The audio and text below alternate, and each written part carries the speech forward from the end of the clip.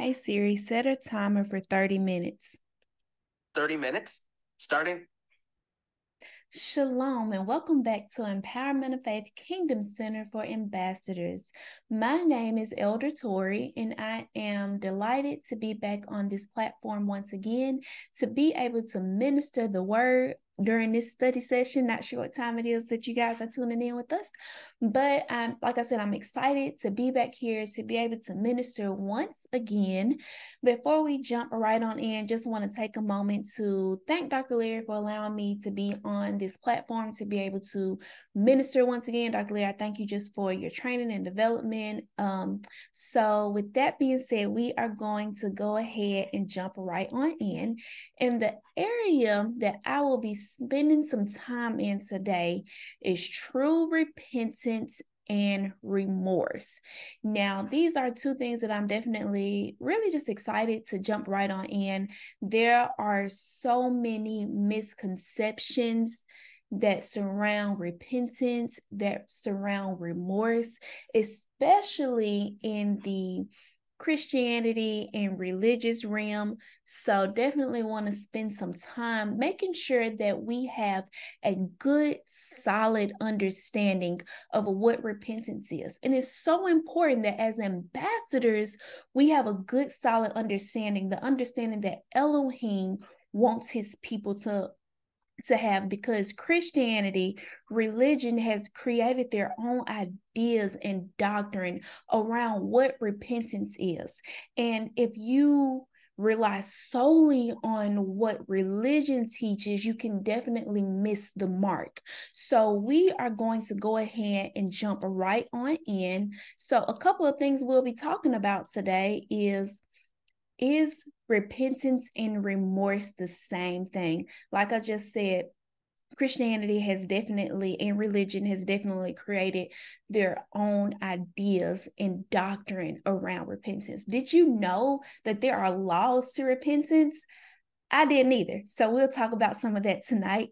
Um, how do I know if I've truly repented? And this is especially important because many times I know I was taught growing up, uh, I'll say around church because I didn't go, I wasn't fully committed to going to church. That's not something that we did regularly for me when I was growing up. But I was one of those people that if I thought that if I just confessed that I was okay, and especially when I was in college, I found myself confessing every single weekend, but I never repented. So we're going to talk about what confession is as well as it relates to repentance and how important that is and what does repentance look like so with that being said we are going to go ahead and move on to our next note but before we really get any further, I want to take a minute to talk about um, Yeshua's first message. And so, if we look at this scripture right here in Mattityahu, it reads, From that time, Yeshua began to preach, saying, Repent, for the kingdom of heaven is at hand. So, it's really important why I want to well, let me rephrase that. I want to spend some time with this particular scripture because if you look here, it says the first message that Yeshua taught was repent. Yeshua didn't say go get saved first. He didn't give us a law first. Well, uh, well, the repent is a law, but he didn't say follow this law, follow that law, don't do this, don't do that. The very first thing he said was repent, and it's so important. Really, the Holy Spirit is really just impressing on me that um it's so important for us to understand understand repentance because you can't live a lifestyle that is pleasing to the father without first repenting. So it's so important that as ambassadors, we make sure that we have a solid understanding of what repentance is. But that was the first thing that Yeshua said that we should do. We should first repent. So that leads me to my next point of what is repentance. I know growing up, I heard repent, you know, confess, and for me growing up, confessing and repentance was interchangeable. I really had this idea that if I confessed that I repented that I was okay. And like I mentioned before, when I was in college, I found myself confessing every single weekend. So I found myself trying to pre plan my repentance with my pre-planned sin.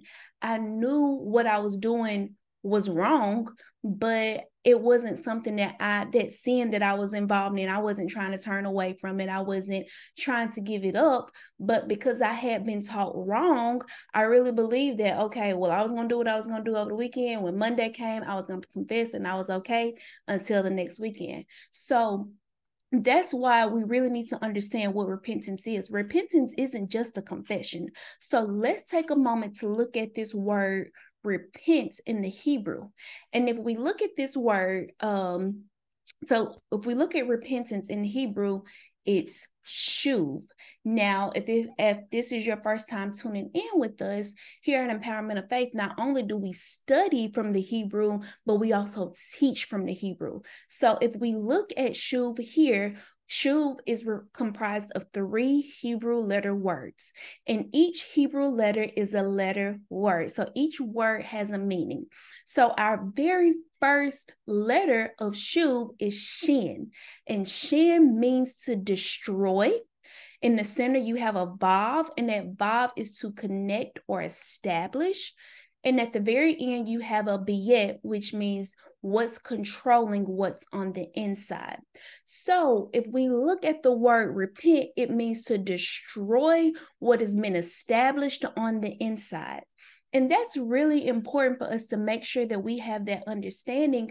And when you repent, you have to destroy that sin on the inside that is controlling you. You have to destroy that thing that is implanted in your belief system and trying to tear you down and take you down.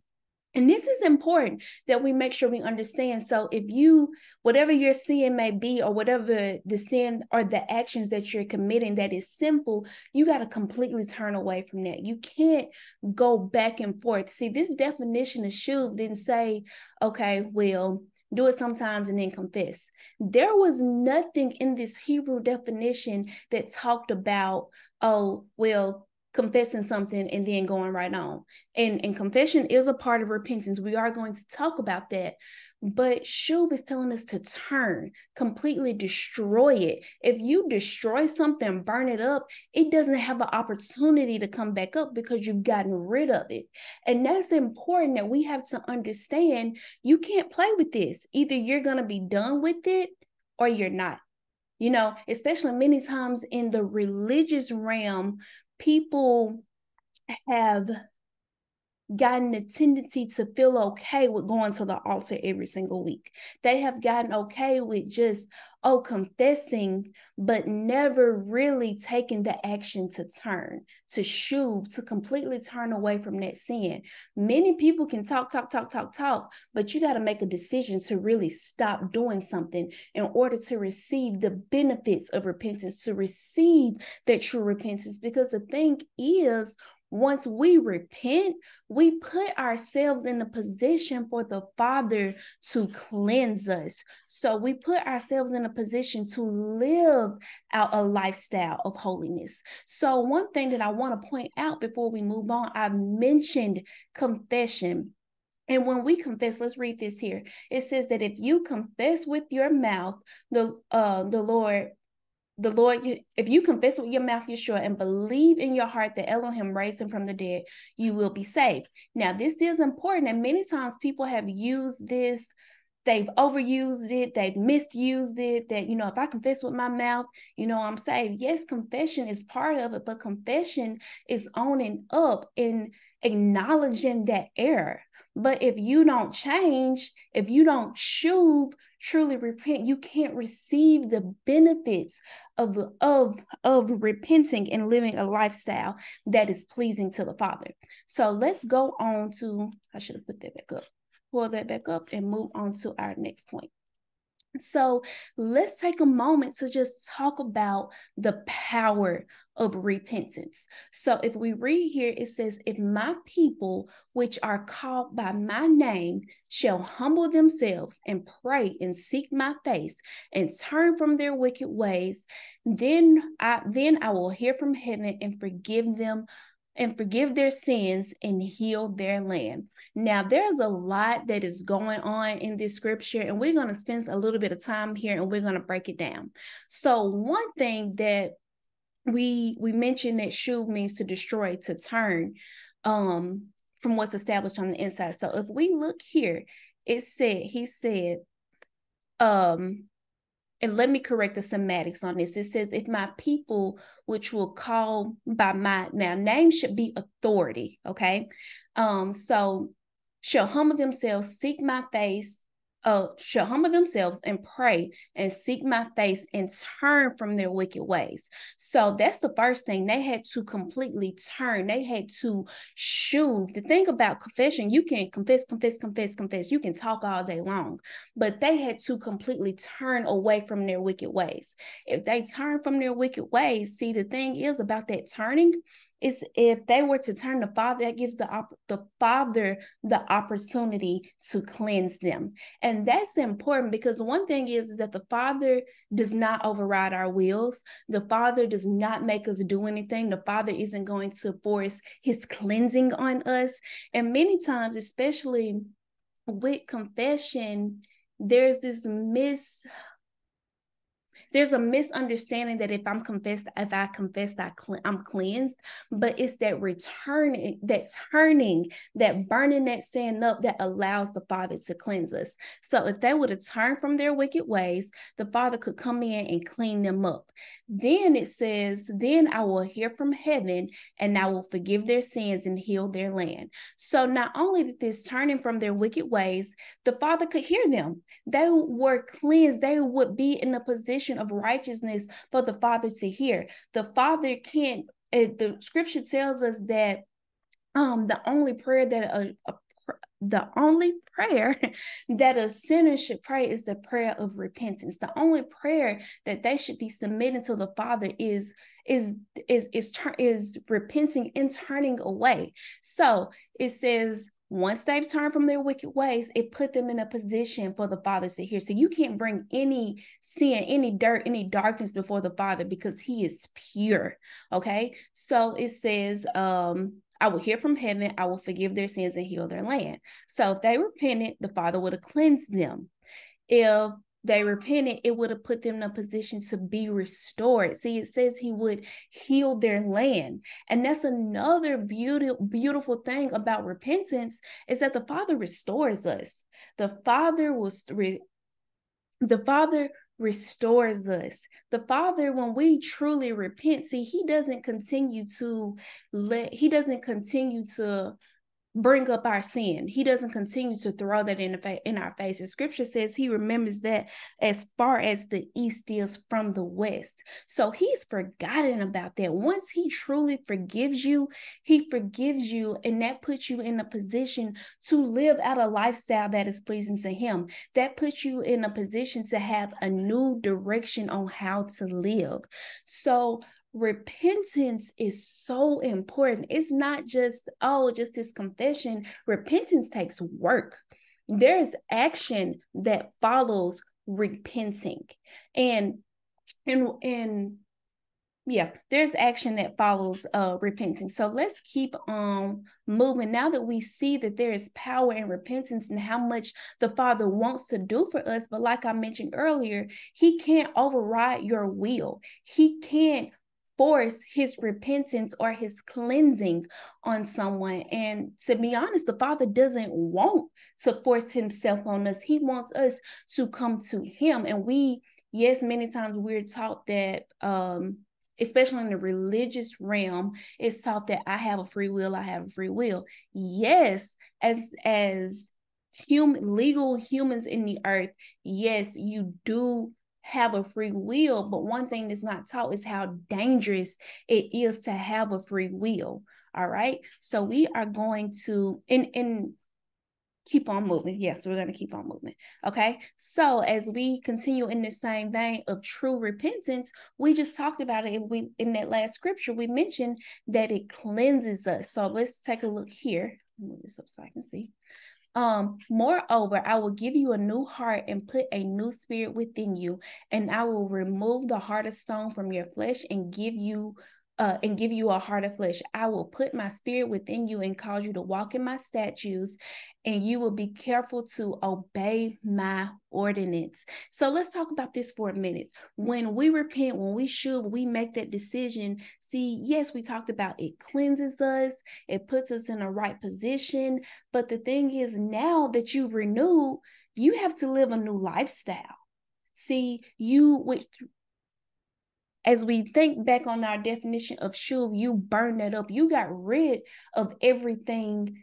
Uh, you, well, you got rid of that darkness. You got rid of that sin that was consuming and controlling your life. And so now the Father has put um the Holy Spirit is here to help us to live out a life that is pleasing to Him. And so, even in that, the Holy Spirit, after we've repented, the Holy Spirit will teach us. The Holy Spirit will remind us of the Father's of the fa- the Holy Spirit will help us live out a way that is live out a life that is pleasing to the Father. Scripture tells us that He will send a helper, send an advocate to help us. And many times, people who, especially in the religious realm, that chooses to focus on um just repenting, repenting, repenting. Um, when we are made new, you are a new being you know, you've been regenerated. So, with this new lifestyle, with this no, well, let me rephrase it. With this cleansing, there comes a new lifestyle, a new way of living, a new direction. And the Father isn't going to cleanse us and be like, oh, figure it out. He's not going to do that. See, He's going to teach us. And part of that learning how to live a lifestyle that's pleasing to the Father, part of it is being in His Word and seeking His face and having that fellowship, having a lifestyle of prayer, a lifestyle of being in His presence and seeking His face. But also, the Holy Spirit will just remind us and urge us of things that we shouldn't do anymore. I can remember when I actually got born again for real and was trying to really live a lot a clean lifestyle that was pleasing to the father there were certain things that i just couldn't do anymore. And at the time some of those things i couldn't explain why it didn't feel right. I couldn't explain why I just just had this just this feeling that I could I can't do this anymore. I can't listen to this type of music anymore. I can't watch these types of movies anymore. And what that was because I had been regenerated, because I had repented and really turned, the Holy Spirit was um was teaching me that certain was teaching me that certain things weren't okay and as i continued to seek the father as i learned his word I was able to say, okay, that's why I couldn't watch that movie anymore. Okay, that's why I wasn't okay wearing those things. Because many times, if you understand, let me, I'm trying to phrase this right. Many times you can not understand a concept but if you're sensitive to the holy spirit you're sensitive to the holy spirit trying to teach you the holy spirit to tell you certain things that that are that aren't acceptable for a kingdom believer. And so that's that thing once you're cleansed you're made new. You're put in a position and the father doesn't leave us high and dry. The father doesn't just put doesn't cleanse us. Okay now you figure it out he helps us, but at the same time, we have to be seeking his face so that we can remain in a spirit, eh, remain in a position of righteousness, remain in a position of being cleansed so we can continue to live out this lifestyle. Okay. So the next thing, it results in change. So let's take a moment. If so I want to take a moment to look at Shaol. And the thing is, before we jump right on into that, the thing is, if you've confessed and there's no change, that wasn't true repentance. You confess that many times if you were like me, I was lying. I knew I was lying when I was confessing that when I was confessing every single weekend when I was in college. If you repent, you really change because the thing is, especially if the the as born again believers, you don't have this you have a do right nature and there your spirit is going to desire to please the father but you have to make that decision to submit to your spirit so that you can uh, live out a lifestyle that's pleasing to the father. So let's take a moment to look at Shaol and Mishle 6 4 and 15. And so I'm not going to read all of this for the sake of time, but what I do want to point out is down here um, in verse 6. I was near Damascus. At once around noon, I, around noon, I saw a bright light from heaven shining around me. I fell to the ground. A voice spoke to me, Shaol, Shaol, Why do you work so hard against me? I said, Who are you, Lord? He said to me, I am Yeshua of Nazareth, the one you are working against, the one who the one who were those who were with me, quote, those who were with me saw the light, but they did not hear him speaking to me. I asked, Lord, what shall I do? The Lord said to me, Get up, go to Damascus, and you will be told what to do there. I could not see because of the bright light. Those who were with me had to lead me by the hand until we came to Damascus. Ananias lived there. He obeyed the law and was respected by all the Jews he came and stood near me and said, Brother Shaol, receive your sight. At once I was able to see. Then Ananias, then Ananias said, The Elohim of your fathers chose you to know what he wants done. He chose you to see Yeshua the Messiah, the right one with Elohim, and to hear his voice. When you you are to tell all men what you have seen and heard. What are you waiting for? Get up, be baptized, have your sin washed away, calling on his authority. And again, I say authority instead of name because it is the authority that we get things done in the earth. So, what I want to point out here is that if you read all of it and you know a little bit about Shaol's life, Shaol was killing believers. He was actually on when he was on the way to Damascus, he was actually on his way to um well, let me, let me just say that he was killing believers. And when he was on his way to Damascus, the Father, the light hit him. And so after he had that encounter, he changed. He shoved, and scripture tells us just as hard as he was working at killing ambassadors, that was as hard as he was working for the Father. And so if you, one fruit of true repentance is change. It'll show up in you. Like I mentioned before, it was certain things, like I mentioned before, it's just certain things that once you truly repent, you're not gonna do anymore. You that that flesh we have to rule over, and that flesh may have that desire to do something that is against the Father. That flesh may have a desire to do something that is outside of the will of the Father, but your spirit, you once you choose to submit to your spirit, your spirit is not want to go is not going to desire to live a lifestyle of continuous rebellion live a lifestyle of continuous sin all right? Um so let's keep going. Uh true repentance gives you hope. It encourages you and it stops shame and guilt all right? And so that's one thing i want to spend just a brief second on is that one thing is that scripture tells us that he gives us in Jeremiah 29 and 11, it says he gives us a future and a hope. So that when we repent, when we turn truly shuv and we change and live out that lifestyle that is pleasing to the Father, you'll have courage. You'll be hopeful. Imagine Shaol, as he made that change, he could have been run down with guilt that he had been killing ambassadors. Yes, that as many people say that guilt is a very natural thing to feel, but once you have changed and you repent and you've been cleansed, see, when that guilt comes up, you speak to that guilt and you say, Hey, I'm no longer living there. Hey, I am I have been cleansed, I have been restored, and you keep going. Scripture tells us that He remembers our transgressions as far as the east is from the west. And one thing about the east and the west is that they never meet anymore. So the Father is not going to continue to throw in your face what you've done. The Father is not going to run you down with sh- with shame and guilt. If anything, the Father will encourage us. The Father, even through his correction, scripture tells us that he corrects those that he loves. And once you and you do have to mature to the point to where you learn to accept um correction as a good thing.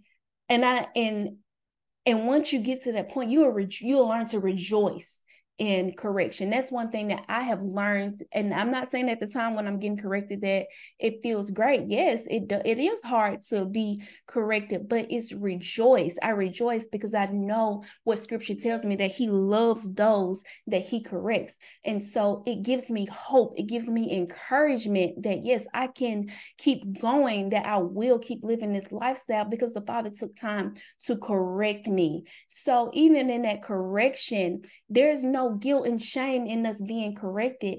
And you can have a remorse or a guilt and a shame that's like where you recognize your error man i messed up but it's not going to run you down. It's not going to destroy your life. And many times especially with guilt and shame guilt will eat a person up. Guilt many people i'll stop right there because that's something that we are going to talk about but it doesn't once you truly repent it you're not run down with guilt and shame and embarrassment. And people may try to bring up your past but that's not where you are. Scripture tells us to fear not the one who can kill the body and fear not the one who can kill the body but fear the one who can kill the body and the soul. And the father comes to give us life and life more abundantly. Okay so we are winding down on our time. And also, true repentance requires confession. It requires confession. And many times with confession, confession is simply owning up to your error, owning up to what you did wrong and acknowledging that. And once you can't you can't turn from something or you can't burn something up if you don't even know what you did. You can't yeah, you can't turn from your sin if you don't know what you did was wrong.